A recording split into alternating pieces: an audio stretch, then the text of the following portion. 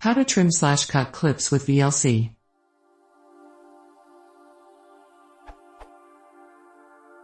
I am running VLC 1.1.564-bit on Mac OS X 10.6.6. On the web I found instructions saying I should click on Video in GT, advanced controls in the menu bar to reveal options that let me trim and cut video clips. However, there is no such option in my copy of VLC.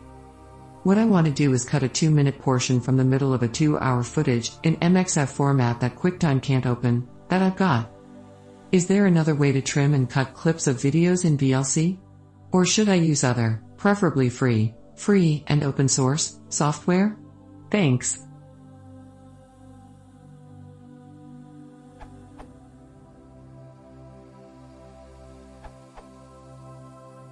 For some reason VLC has removed options to stream a partial clip from their transcoding and streaming wizards. But the options are still available at the CLI. Here's how I stream a portion of a file, while keeping the original audio and video streams intact, no transcoding done. Times are given in seconds. VLC in .avi start time 65 stop time 95. Sout equals hashtag file dst equals slash home slash miser slash desktop slash out.avi. No sout RTP SAP. No sout standard SAP. Sout keep. With transcoding.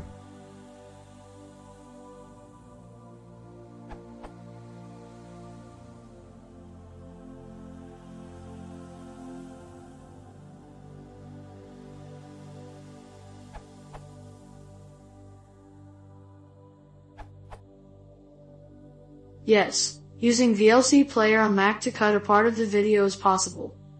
Go to Playback in top menu while playing the video and at the point where you want to start cropping, click on Record. The tick mark beside record in the sub menu indicates that the recording is happening. Click again when you have to stop the cropping.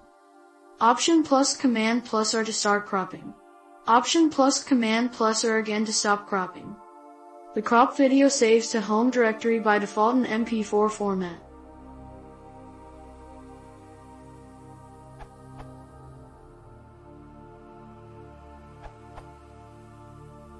If you're up for other software, just try QuickTime, it has very nice and easy trim controls, you just drag the sliders at the video progress bar and then there's a trim option, I believe it's CMD plus T.